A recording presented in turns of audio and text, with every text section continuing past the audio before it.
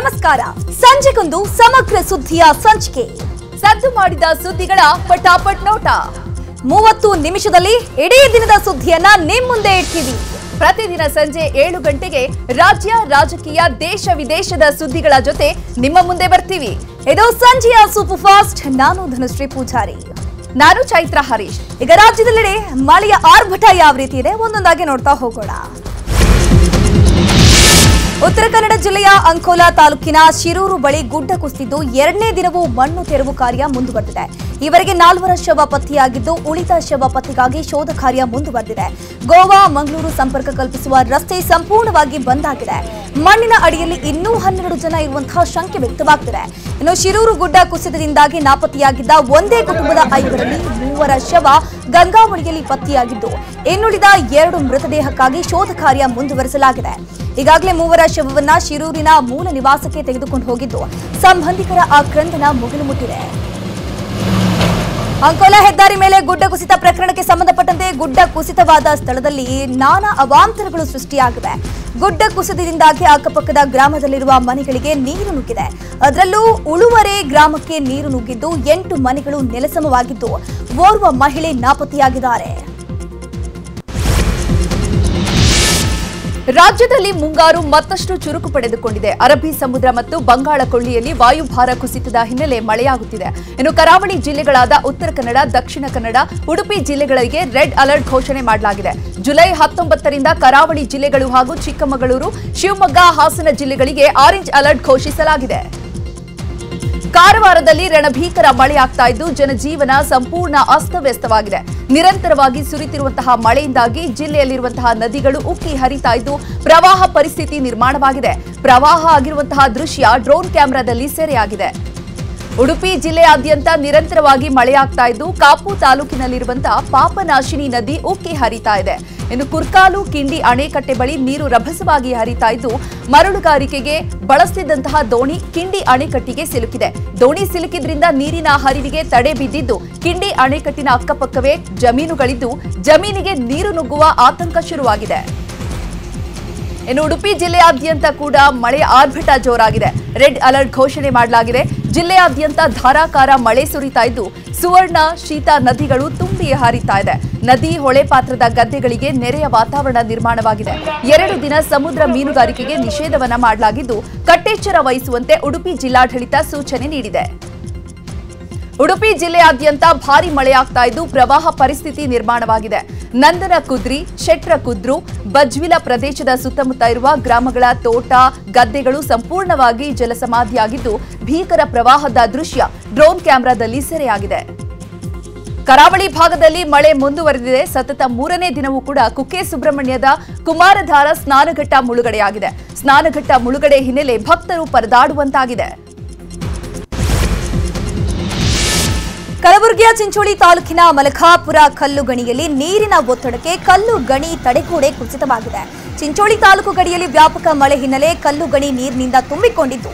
ನೀರಿನ ಒತ್ತಡಕ್ಕೆ ಬೃಹತ್ ಕಲ್ಲಿನ ತಡೆಗೋಡೆ ಕುಸಿತವಾಗಿದೆ.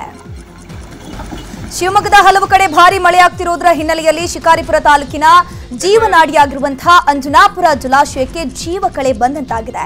ಶಿಕಾರಿಪುರ ಪಟ್ಟಣಕ್ಕೆ ಕುಡಿಯುವ ನೀರು ಪೂರೈಸುವ ಡ್ಯಾಂ ಇದಾಗಿದ್ದು, ಮಳೆಯಿಂದಾಗಿ ಡ್ಯಾಂ ಭರ್ತಿಯಾಗಿದ್ದು ಡ್ಯಾಂ ನೋಡಲು ನೂರಾರು ಜನರು ಆಗಮಿಸುತ್ತಿದ್ದಾರೆ.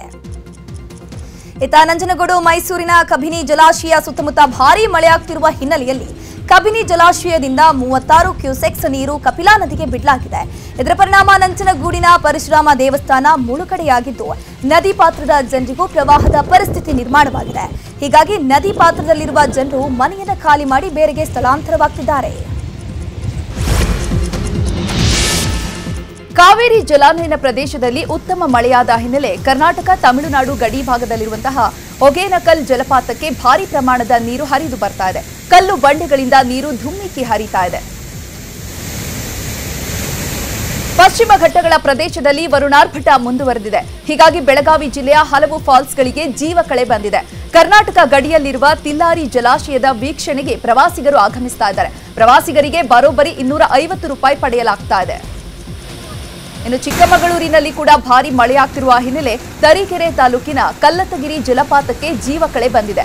ಮಳೆಗೆ ಕಲ್ಲತ್ತಗಿರಿ ಜಲಪಾತ ಮೈದುಂಬಿ ಹರಿತಾ ಇದ್ದು, ಪ್ರವಾಸಿಗರು ಜಲಪಾತದ ಬಳಿ ಹುಚ್ಚಾಟ ಮಾಡದಂತೆ ಪೊಲೀಸರು ಮನವಿ ಮಾಡಿಕೊಂಡಿದ್ದಾರೆ. ಶಿವಮೊಗ್ಗದಲ್ಲಿ ಭಾರಿ ಮಳೆಯ ಹಿನ್ನೆಲೆ ಶರಾವತಿ ಜಲಾಶಯಕ್ಕೆ ಒಳಹರಿವಿನ ಪ್ರಮಾಣ ಹೆಚ್ಚಾಗಿದೆ.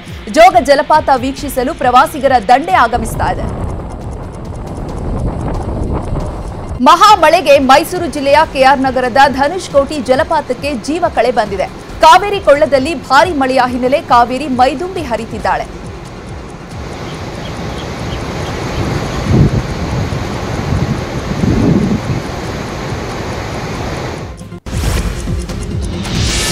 ಇತ್ತ ಹಾಸನದಲ್ಲಿ ಭಾರಿ ಮಳೆ ಆಗ್ತಿದ್ದು ಹಳ್ಳ ಕೊಳ್ಳಗಳು ತುಂಬಿ ಹರಿತಾ ಇದೆ. ಸಕಲೇಶ್ಪುರ ತಾಲೂಕಿನ ಜಂಬರಡಿ ಬಳಿ ಇರುವಂತಹ ಸೇತುವೆ ಮೇಲೆ ನೀರು ಹರಿತಾ ಇದೆ. ಹೀಗಾಗಿ ಹಲವು ಗ್ರಾಮಗಳಿಗೆ ರಸ್ತೆ ಸಂಪರ್ಕ ಕಡಿತವಾಗಿದೆ. ಇನ್ನು ಹಾಸನದ ಸಕಲೇಶ್ಪುರ ತಾಲೂಕಿನ ಮಾರನಹಳ್ಳಿ ಬಳಿ ಇರುವಂತಹ ಕಿರು ಸೇತುವೆ ಭಾರೀ ಮಳೆಗೆ ಕೊಚ್ಚಿ ಹೋಗಿದೆ. ಗ್ರಾಮದ ಮೋಣಪ್ಪ ಎಂಬುವವರ ಮನೆಗೆ ತೆರಳಲು ಮಾರ್ಗ ನಿರ್ಮಾಣವಾಗಿರುವಂತಹ ಸೇತುವೆ ಮಳೆಯಿಂದಾಗಿ ಸಂಪೂರ್ಣವಾಗಿ ನಾಶವಾಗಿದೆ. ಯಾದಗಿರಿ ಜಿಲ್ಲೆಯ ಹುಣಸಗಿ ತಾಲೂಕಿನ ನಾರಾಯಣಪುರ ಡ್ಯಾಂನ ಒಳಹರಿವು ಹೆಚ್ಚಳವಾದ ಹಿನ್ನೆಲೆಯಲ್ಲಿ ಡ್ಯಾಂನಿಂದ ಕೃಷ್ಣಾ ನದಿಗೆ ಸುಮಾರು ಇಪ್ಪತ್ತೆಂಟು ಸಾವಿರದ ಐನೂರ ಅರವತ್ತು ಕ್ಯೂಸೆಕ್ ನೀರು ಹೊರಬಿಡಲಾಗಿದೆ. ಹೀಗಾಗಿ ನದಿ ತೀರಕ್ಕೆ ಯಾರೂ ಕೂಡ ತೆರಳದಂತೆ ಜಿಲ್ಲಾಡಳಿತ ಎಚ್ಚರಿಕೆಯನ್ನು ನೀಡಿದೆ.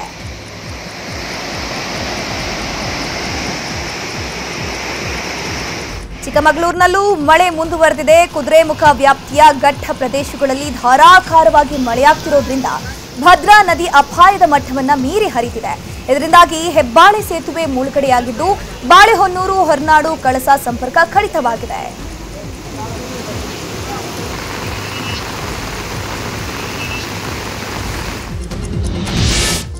ಜಿಟಿ ಮಾಲ್ನಲ್ಲಿ ಅನ್ನದಾತರಿಗೆ ಅವಮಾನವಾಗಿರುವಂತಹ ಸುದ್ದಿಗಳ ಕುರಿತು ನೋಡ್ತಾ ಹೋಗೋಣ. ಬೆಂಗಳೂರಿನ ಮಾಗಡಿ ರಸ್ತೆಯಲ್ಲಿರುವಂತಹ ಜಿಟಿ ವರ್ಲ್ಡ್ ಮಾಲ್ನಲ್ಲಿ ಪಂಚೆ ಧರಿಸಿ ಬಂದ ರೈತನಿಗೆ ಪ್ರವೇಶವನ್ನು ನಿರಾಕರಿಸಲಾಗಿತ್ತು.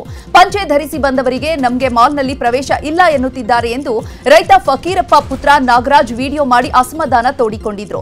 ಇದಕ್ಕೆ ರಾಜ್ಯದೆಲ್ಲೆಡೆ ಭಾರಿ ವಿರೋಧ ವ್ಯಕ್ತವಾಗಿತ್ತು. ಇನ್ನು ಪಂಚೆ ಧರಿಸಿದ ರೈತ ಫಕೀರಪ್ಪಗೆ ಪ್ರವೇಶವನ್ನು ನೀಡಿರೋದನ್ನ ನೀಡದಿರೋದನ್ನ ಖಂಡಿಸಿ ನ್ಯೂಸ್ ಏಟೀನ್ ಕನ್ನಡ ನಿರಂತರ ವರದಿಯನ್ನ ಬಿತ್ತರಿಸಿ ಕನ್ನಡ ಪರ ಹೋರಾಟಗಾರರನ್ನ ಬಡಿದೆಬ್ಬಿಸಿತ್ತು.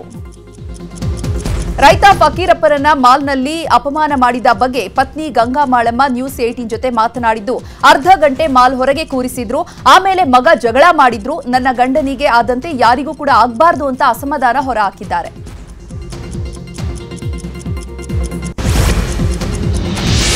ಪಂಚೆ ಉಟ್ಟ ರೈತನಿಗೆ ಜಿಟಿ ಮಾಲ್ನ ಸಿಬ್ಬಂದಿ ಅವಮಾನ ಮಾಡಿದ್ದನ್ನು ವಿರೋಧಿಸಿ ಇವತ್ತು ಕನ್ನಡ ಪರ ಸಂಘಟನೆಗಳು ರೊಚ್ಚಿಗೆದ್ದಿದ್ದವು ಪಂಚೆ ಉಟ್ಟು ಜಿಟಿ ಮಾಲ್ಗೆ ಆಗಮಿಸಿದ ಹೋರಾಟಗಾರರು ಮಾಲ್ನ ಆಡಳಿತ ಮಂಡಳಿಯ ವಿರುದ್ಧ ಆಕ್ರೋಶವನ್ನು ವ್ಯಕ್ತಪಡಿಸಿದ್ರು. ಈ ವೇಳೆ ಕನ್ನಡ ಪರ ಹೋರಾಟಗಾರರನ್ನ ಪೊಲೀಸರು ವಶಕ್ಕೆ ಪಡೆದ್ರು. ದೇಶದ ಬೆನ್ನೆಲುಬು ರೈತನಿಗೆ ಅವಮಾನವಾಗಿದೆ.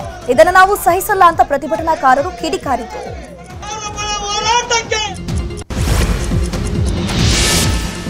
ನ್ಯೂಸ್ ಏಟೀನ್ ವರದಿಯಿಂದ ಕಡೆಗೂ ಜಿಟಿ ಮಾಲ್ ಮಾಲೀಕರು ಎಚ್ಚೆತ್ತುಕೊಂಡಿದ್ದಾರೆ. ರೈತನಿಗೆ ಅಪಮಾನ ಮಾಡಿದ್ದನ್ನ ಮಾಲ್ ಮಾಲೀಕರು ಸಹ ಖಂಡಿಸಿದ್ದಾರೆ. ಮಾಲ್ ಒಳಗೆ ರೈತರನ್ನ ಬಿಡಲು ನಿರಾಕರಿಸಿದ security Arun Kumar news eighteen ಜೊತೆ ಮಾತನಾಡಿದ್ದು, ರೈತ ಫಕೀರಪ್ಪಗೆ ಕ್ಷಮೆ ಕೇಳಿದ್ದಾರೆ. ನನ್ನಿಂದ ತಿಳಿದೋ ತಿಳಿಯದೋ ತಪ್ಪಾಗಿದೆ. ರೈತರಿಗೆ ಕರ್ನಾಟಕದ ಜನತೆಗೆ ಕ್ಷಮೆಯನ್ನ ಕೇಳ್ತೇನೆ. ಮ್ಯಾನೇಜ್ಮೆಂಟ್ನವರು ಹೇಳಿದ್ದಕ್ಕೆ ಒಳಗೆ ಬಿಡ್ಲಿಲ್ಲ ಅಷ್ಟೇ ಅಂತ ಸೆಕ್ಯೂರಿಟಿ ಅರುಣ್ ಕ್ಷಮೆ ಯಾಚಿಸಿದ್ದಾರೆ. ಇನ್ನು ಸೆಕ್ಯೂರಿಟಿ ಹೆಡ್ ಯಶವಂತ್ ಕೂಡ ರೈತ ಫಕೀರಪ್ಪ ಬಳಿ ಕ್ಷಮೆ ಕೇಳಿದ್ದಾರೆ. ನಿನ್ನೆ ಅಚಾತುರ್ಯದಿಂದ ಘಟನೆ ನಡೆದಿದೆ. ಪಂಚೆ ಉಟ್ಟವರನ್ನು ಒಳಗೆ ಬಿಡ್ತೇವೆ. ನಿನ್ನೆಯ ಘಟನೆ ಬೇಕಂತ ಆಗಿದ್ದಲ್ಲ ಅಂತ ಹೇಳಿದ್ದಾರೆ.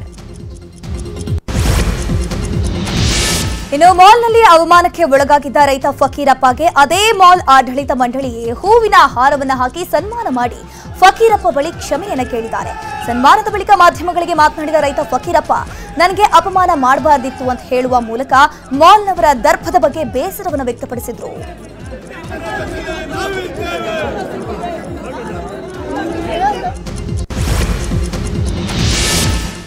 ಮಾಲ್ನಲ್ಲಿ ರೈತರಿಗೆ ಅಪಮಾನ ಮಾಡಿದ್ದನ್ನ ಕಂದಾಯ ಸಚಿವ ಕೃಷ್ಣ ಭೈರೇಗೌಡ ಹಾಗೂ ಕೃಷಿ ಸಚಿವರು ಖಂಡಿಸಿದ್ದಾರೆ. ಮುಖ ನೋಡಿ, ಬಟ್ಟೆ ನೋಡಿ ವ್ಯಕ್ತಿಯನ್ನ ಅಳೆಯಬಾರದು. ಇದೊಂದು ಬ್ರಿಟಿಷರ ಮನಸ್ಥಿತಿ. ಅದೊಂದು ಮಾಲ್ ಅಲ್ಲ ಬೇರೆ ಕಡೆನೂ ಕೂಡ ಇದೇ ರೀತಿ ಮುಂದುವರಿತಾ ಇದೆ. ಅರಿವಿನ ಕೊರತೆಯೋ, ದುರಂಕಾರದಿಂದನೋ ಏನೋ ಗೊತ್ತಿಲ್ಲ ಅಂತ ಕಿಡಿಕಾರಿದ್ದಾರೆ.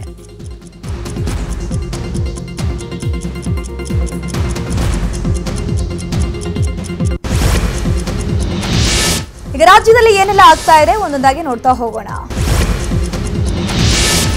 ದರ್ಶನ್ ಗ್ಯಾಂಗ್ನಿಂದ ರೇಣುಕಾ ಸ್ವಾಮಿ ಕೊಲೆ ಕೇಸ್ಗೆ ಸಂಬಂಧಪಟ್ಟಂತೆ ಆರೋಪಿಗಳಿಗೆ ಜಾಮೀನು ನೀಡದಂತೆ ಕೋರ್ಟ್ಗೆ ರಿಮಾಂಡ್ ಅರ್ಜಿ ಸಲ್ಲಿಸಲು ಪೊಲೀಸರು ಸಿದ್ಧತೆಯನ್ನು ಮಾಡಿಕೊಂಡಿದ್ದಾರೆ.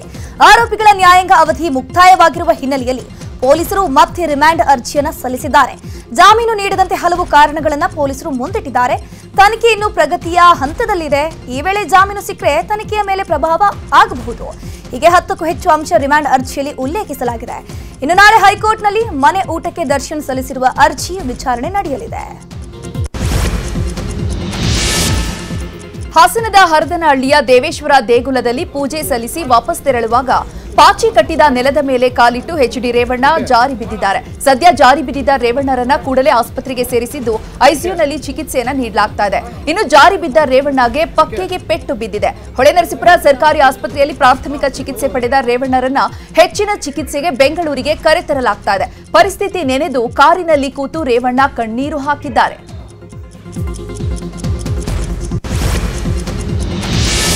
ಬೆಂಗಳೂರಿನ ಮೊದಲ ಡಬಲ್ ಡೆಕ್ಕರ್ ಮೇಲ್ಸೇತುವೆ ಪ್ರಾಯೋಗಿಕ ಸಂಚಾರಕ್ಕೆ ಡಿಸಿಎಂ ಡಿಕೆ ಶಿವಕುಮಾರ್ ಅವರು ಉದ್ಘಾಟನೆಯನ್ನು ಮಾಡಿದರು.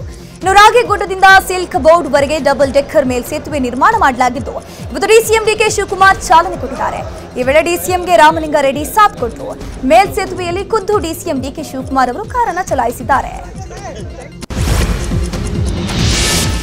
ಬೆಳೆಗೆ ದೃಷ್ಟಿ ತಾಗಬಾರ್ದು ಅಂತ ಹೊಲದಲ್ಲಿ ದೃಷ್ಟಿಗೊಂಬೆಯನ್ನ ಕಟ್ಟೋದನ್ನ ನೀವು ನಾವೆಲ್ಲ ನೋಡಿರ್ತೇವೆ. ಆದ್ರೆ ಇಲ್ಲೊಬ್ಬ ರೈತ ಕಂಪ್ಲೀಟ್ ಡಿಫ್ರೆಂಟ್ ಪ್ಲಾನ್ ಹಾಕೊಂಡಿದ್ದಾರೆ. ಶಿಡ್ಲಘಟ್ಟದ ದೀಪು ಎಂಬುವರು ಟೊಮ್ಯಾಟೊ ಬೆಳೆ ಹಾಳಾಗಬಾರದು ಅಂತ ತಮ್ಮ ಹೊಲದಲ್ಲಿ ದೃಷ್ಟಿಗೊಂಬೆ ಇಡುವ ಬದಲು ನಟಿಯರ ಫೋಟೋ ಹಾಕಿದ್ದಾರೆ.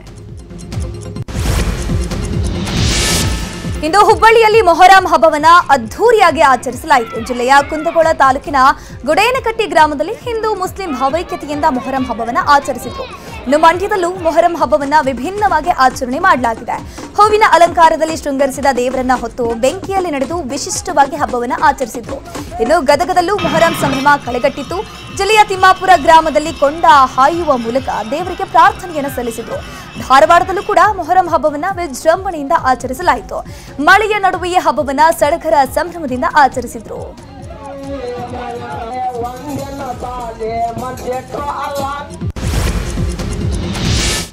ಇನ್ನು ರಾಜಕೀಯ ಸುದ್ದಿಗಳನ್ನ ಒಂದೊಂದಾಗಿ ನೋಡ್ತಾ ಹೋಗೋಣ. ಕನ್ನಡಿಗರ ಪಾಲಿಗೆ ನಾಳೆ ಮಹತ್ವದ ದಿನವಾಗಿದೆ. ನಾಳೆ ವಿಧಾನಸಭೆಯಲ್ಲಿ ಖಾಸಗಿ ಕಂಪನಿಗಳ ಉದ್ಯೋಗದಲ್ಲಿ ಕನ್ನಡಿಗರಿಗೆ ಮೀಸಲಾತಿ ಮಸೂದೆ ಮಂಡನೆ ಆಗಲಿದೆ. ಈಗಾಗಲೇ ರಾಜ್ಯ ಸಚಿವ ಸಂಪುಟ ಅನುಮೋದನೆಯನ್ನ ನೀಡಿದ್ದು, ನಾಳೆ ವಿಧಾನಸಭೆಯಲ್ಲಿ ಮಸೂದೆ ಮಂಡನೆ ಆಗಲಿದೆ. ಸರ್ಕಾರದ ಕ್ರಮಕ್ಕೆ ಕನ್ನಡಪರ ಸಂಘಟನೆಗಳು ಬೆಂಬಲಿಸಿದೆ. ಸಿಎಂ ಸಿದ್ದರಾಮಯ್ಯರನ್ನ ಭೇಟಿ ಮಾಡಿ ಕರವೇ ನಾರಾಯಣಗೌಡ ಅಭಿನಂದನೆಯನ್ನ ಸಲ್ಲಿಸಿದ್ದಾರೆ. ಇನ್ನು ಕೆಲ ಉದ್ಯಮಿಗಳು ಇದಕ್ಕೆ ವಿರೋಧವನ್ನ ವ್ಯಕ್ತಪಡಿಸಿದ್ದಾರೆ. ವಾಲ್ಮೀಕಿ ಹಗರಣದಲ್ಲಿ ಈಗಾಗಲೇ ಮಾಜಿ ಸಚಿವ ನಾಗೇಂದ್ರ ಇಡಿ ಕಸ್ಟಡಿಯಲ್ಲಿದ್ದಾರೆ. ಈ ನಡುವೆಯೇ ನಾಗೇಂದ್ರ ಪತ್ನಿ ಮಂಜುಳಾ ಅವರನ್ನ ಇಡಿ ಇವತ್ತು ವಶಕ್ಕೆ ಪಡ್ಕೊಂಡಿದೆ. ಬೆಂಗಳೂರಿನಲ್ಲಿರುವಂತಹ ಅಪಾರ್ಟ್ಮೆಂಟ್ ಅಪಾರ್ಟ್ಮೆಂಟ್ನಿಂದಲೇ ವಶಕ್ಕೆ ಪಡೆದಿದ್ದು, ಅಲ್ಲಿನ ಶಾಂತಿನಗರದಲ್ಲಿರುವಂತಹ ಇಡಿ ಕಚೇರಿಗೆ ಕರೆತಂದ್ರು. ನೂರ ಎಂಬತ್ತೇಳು ಕೋಟಿ ಅಕ್ರಮದ ಬಗ್ಗೆ ಇಡಿ ಅಧಿಕಾರಿಗಳು ನಾಗೇಂದ್ರ ಪತ್ನಿಯನ್ನ ವಿಚಾರಣೆ ಮಾಡ್ತಿದ್ದಾರೆ.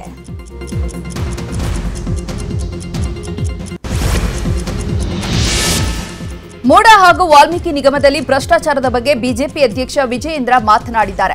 ಈಗಾಗಲೇ ವಾಲ್ಮೀಕಿ ಅಭಿವೃದ್ಧಿ ನಿಗಮದಲ್ಲಿ ಹಗರಣದ ಬಗ್ಗೆ ಅಧಿವೇಶನದಲ್ಲಿ ಪ್ರಸ್ತಾಪವನ್ನ ಮಾಡಿದ್ದೇವೆ. ಲೋಕಸಭಾ ಚುನಾವಣೆಯಲ್ಲಿ ಈ ಹಣವನ್ನ ಬಳಸಿಕೊಳ್ಳಲಾಗಿದೆ ಎಂಬ ಆರೋಪ ಕೇಳಿ ಬರ್ತಾ ಇದೆ. ಇದು ಏನಾದರೂ ನಿಜವಾಗಿದ್ರೆ ಇದೊಂದು ಅಪರಾಧ. ಸರ್ಕಾರ ಬಂದು ಹದಿನಾಲ್ಕು ತಿಂಗಳಿಗೆ ಮೊದಲ ಬಾರಿಗೆ ಇಂಥ ಗಂಡಾಂತರಕ್ಕೆ ಸಿಕ್ಕಿ ಹಾಕಿಕೊಂಡಿದೆ ಅಂತ ವಾಗ್ದಾಳಿ ನಡೆಸಿದ್ದಾರೆ. ಕಾವೇರಿ ವಿಚಾರದಲ್ಲಿ ಮತ್ತೆ ಕೇಂದ್ರ ಸಚಿವ ಎಚ್ ಡಿ ಕುಮಾರಸ್ವಾಮಿಗೆ ಕೃಷಿ ಸಚಿವ ಚಲುವರಾಯಸ್ವಾಮಿ ಸವಾಲ್ ಹಾಕಿದ್ದಾರೆ. ಕುಮಾರಸ್ವಾಮಿ ಅವರು ಐದು ವರ್ಷದಲ್ಲಿ ಕಾವೇರಿ ವಿವಾದವನ್ನ ಬಗೆಹರಿಸಿ, ಕಾವೇರಿ ನೀರನ್ನ ಸಂಪೂರ್ಣವಾಗಿ ರಾಜ್ಯವೇ ನಿರ್ವಹಿಸುವಂತೆ ಕೇಂದ್ರ ಸರ್ಕಾರದಿಂದ ಆದೇಶವನ್ನ ಮಾಡಿದ್ದೇ ಆದ್ರೆ ನಾನು ರಾಜಕೀಯ ನಿವೃತ್ತಿಯನ್ನ ತಗೋತೀನಿ ಅಂತ ಸವಾಲನ್ನು ಹಾಕಿದ್ರು. ಹಾಲು ಕುಡಿದು ಸಾಯುವವರಿಗೆ ವಿಷ ಹಾಕುವ ಕೆಲಸವನ್ನ ಮಾಡೋದಿಲ್ಲ ಅಂತ ಸಂಸದ ಗೋವಿಂದ ಕಾರಜೋಳ ಸರ್ಕಾರದ ಬಗ್ಗೆ ವ್ಯಂಗ್ಯವಾಗಿ ಮಾತನಾಡಿದ್ದಾರೆ. ಸಿದ್ದರಾಮಯ್ಯ, ಸತ್ಯ ಹರಿಶ್ಚಂದ್ರರಿಗೆ ಹೋಲಿಕೆ ಮಾಡ್ಕೊಳ್ತಾರೆ. ಬಿಜೆಪಿ, ಕಾಂಗ್ರೆಸ್, ಜೆಡಿಎಸ್ ಯಾರೇ ಇರಲಿ, ಹಗರಣ ಹಗರಣನೇ. ನಿಷ್ಪಕ್ಷಪಾತವಾಗಿ ತನಿಖೆ ಆಗ್ಲೇಬೇಕು ಎಂದಿದ್ದಾರೆ. ಅನುದಾನ ಕೊಡದ ಸಿಎಂ ವಿರುದ್ಧ ಕಾಂಗ್ರೆಸ್ ಶಾಸಕರು ಭುಗಿಲೇಳ್ತಾರೆ ಅಂತ ಕಾರಜೋಳ ಹೇಳಿದ್ದಾರೆ.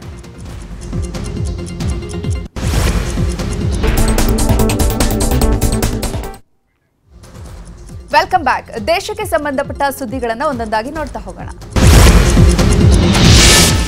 ಲೋಕಸಭೆ ಚುನಾವಣೆಯಲ್ಲಿ ಬಿಜೆಪಿ ಆಘಾತಕಾರಿ ಹಿನ್ನಡೆಯ ಅನುಭವಿಸಿದ ಒಂದೂವರೆ ತಿಂಗಳಲ್ಲಿ ಉತ್ತರ ಪ್ರದೇಶ ರಾಜಕಾರಣದಲ್ಲಿ ಅಲ್ಲೋಲ ಕಲ್ಲೋಲವೇ ಸೃಷ್ಟಿಯಾಗಿದೆ.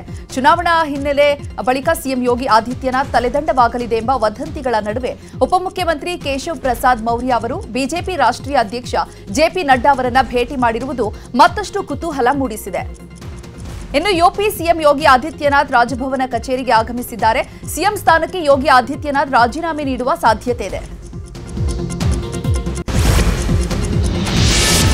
ಪ್ರಧಾನಿ ನರೇಂದ್ರ ಮೋದಿ ನೀಡಿದ ಸಬ್ಕಾ ಸಾಥ್, ಸಬ್ಕಾ ವಿಕಾಸ್ ಘೋಷಣೆ ನಿಲ್ಲಿಸುವ ಸಮಯ ಬಂದಿದೆ ಅಂತ ಪಶ್ಚಿಮ ಬಂಗಾಳದ ವಿಪಕ್ಷ ನಾಯಕ ಮತ್ತು ಬಿಜೆಪಿಯ ನಾಯಕ ಸುವೇಂದು ಅಧಿಕಾರಿ ವಿವಾದಾತ್ಮಕ ಹೇಳಿಕೆಯನ್ನು ಕೊಟ್ಟಿದ್ದಾರೆ.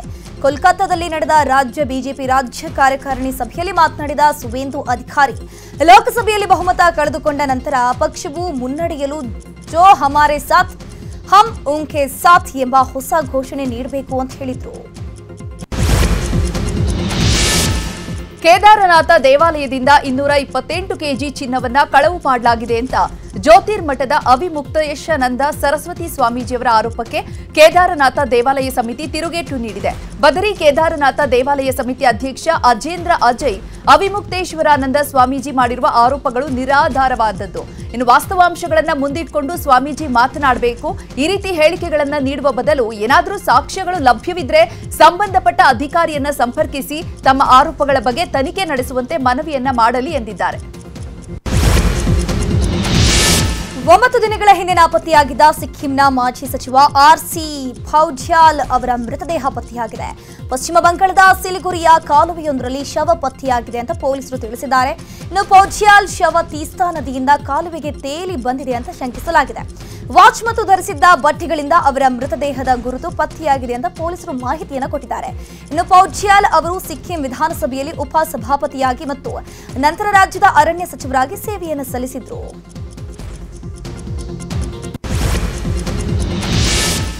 ಮಹಾರಾಷ್ಟ್ರದಲ್ಲಿ ರಾಜಕೀಯ ಬೆಳವಣಿಗೆಗಳು ಕುತೂಹಲ ಮೂಡಿಸಿದ್ದು, ಎನ್ಸಿಪಿಯ ಹಲವು ನಾಯಕರು ಅಜಿತ್ ಪವಾರ್ ಬಣ ತೊರೆದು ಶರದ್ ಪವಾರ್ ಬಣ ಸೇರುತ್ತಿದ್ದಾರೆ. ಅಜಿತ್ ಪವಾರ್ ಎನ್ಸಿಪಿ ಬಣದ ಪಿಂಪ್ರಿ ಚೆನ್ವಾಡ ಘಟಕದ ಮುಖ್ಯಸ್ಥ ಅಜಿತ್ ಗೌಹಾನೆ ಹಾಗೂ ಇನ್ನಿತರ ಮೂವರು ಹಿರಿಯ ನಾಯಕರಾದ ರಾಹುಲ್ ಭೋಸ್ಲೆ, ಪಂಕಜ್ ಬಾಲೇಕರ್ ಹಾಗೂ ಯಶ್ ಸಾನಿ ಅವರು ಅಜಿತ್ ಪವಾರ್ ಬಣವನ್ನ ತೊರೆದು ಶರದ್ ಪವಾರ್ ಬಣ ಸೇರಿಕೊಂಡಿದ್ದಾರೆ. ಚುನಾವಣಾ ಹೊಸ್ತಿಲಿನಲ್ಲಿರುವಾಗ ಈ ನಾಯಕರು ಪಕ್ಷ ತೊರೆದಿರುವುದು ಅಜಿತ್ ಪವಾರ್ಗೆ ತೀವ್ರ ಹಿನ್ನಡೆಯಾಗಿದೆ. ಈಗ ಅಂತಾರಾಷ್ಟ್ರೀಯ ಮಟ್ಟದಲ್ಲಿ ಏನಾಗಿದೆ ಅನ್ನೋದನ್ನ ಒಂದೊಂದಾಗಿ ನೋಡ್ತಾ ಹೋಗೋಣ. ಅಮೆರಿಕ ಮಾಜಿ ಅಧ್ಯಕ್ಷ ರಿಪಬ್ಲಿಕನ್ ಪಕ್ಷದ ನಾಯಕ ಡೊನಾಲ್ಡ್ ಟ್ರಂಪ್ ಹತ್ಯೆಗೆ ಇರಾನ್ ಯೋಜನೆಯನ್ನು ರೂಪಿಸಿತ್ತು ಎನ್ನುವ ಮಾಹಿತಿ ಇದೀಗ ಬಯಲಾಗಿದೆ. ಇರಾನ್ ಸಂಚಿನ ಬಗ್ಗೆ ಅಮೆರಿಕ ಭದ್ರತಾ ಪಡೆಗಳಿಗೆ ಮಾಹಿತಿ ಇತ್ತಂತೆ. ಟ್ರಂಪ್ ಮೇಲೆ ದಾಳಿ ನಡೆಯುವ ಬಗ್ಗೆ ಮಾಹಿತಿ ಇದ್ದ ಕಾರಣ ಟ್ರಂಪ್ಗೆ ನೀಡಲಾಗಿದ್ದ ಭದ್ರತೆಯನ್ನ ಹೆಚ್ಚಿಸಲಾಗಿತ್ತು. ಓಮನ್ನ ಸಾಗರ ಪ್ರದೇಶದಲ್ಲಿ ತೈಲ ಸಾಗಿಸುತ್ತಿದ್ದ ಹಡಗೊಂದು ಮಗುಚಿ ಬಿದ್ದಿದೆ ಹಡಗಿನಲ್ಲಿದ್ದ ಹದಿಮೂರು ಭಾರತೀಯರು ಸೇರಿದಂತೆ ಹದಿನಾರು ಸಿಬ್ಬಂದಿ ನಾಪತ್ತೆಯಾಗಿದ್ದಾರೆ ಅಂತ ವರದಿಯಾಗಿದೆ.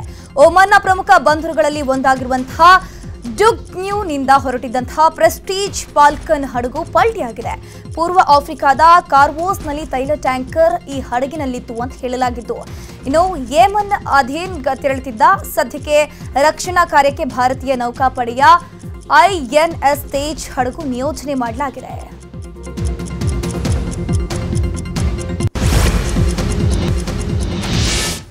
ಇವೆಷ್ಟು ಸಂಜೆ ಸೂಪರ್ ಫಾಸ್ಟ್ನ ಪ್ರಮುಖ ಸುದ್ದಿಗಳು ನೋಡ್ತಾ ಇರಿ ನ್ಯೂಸ್ ಏಟೀನ್ ಜಾಲ ನಮ್ಮದು, ಬಲ ನಿಮ್ಮದು.